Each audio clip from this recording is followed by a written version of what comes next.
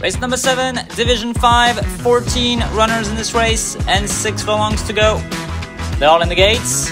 Flag is up.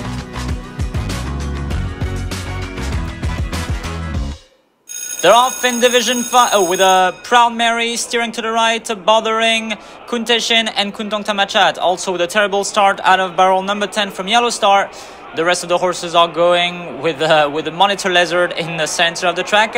It is now one more who is in the lead. A second position for number 10, Latmoncorn, uh, now being taken over by number 7, Chanbudnak. The fourth position is for Luminous and Santipap. Back of the field is for Yellow Star into the final turn now. It is still one more who is in the lead by 10 lengths in front of number 7, Chanbudnak. The third position is for Luminous, having the perfect race on the Santipap. Fourth position for Lutmoncorn in front of number 6, Kunteshin, who is now climbing up some ranks into the final stretch now. 400 meters left to go. It is one more and Gosin who have the lead since the beginning and will try to keep it. But here comes Luminous. Luminous with Santipap on board. Luminous is now being activated and launched on the outside. Luminous easily takes the lead in this Division 5. Luminous is flying home so well.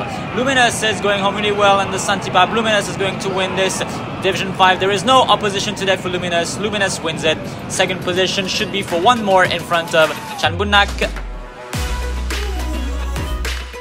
Evidently a beautiful ride and a beautiful race with Luminous winning in front of one more. Chanbudnak takes the third position.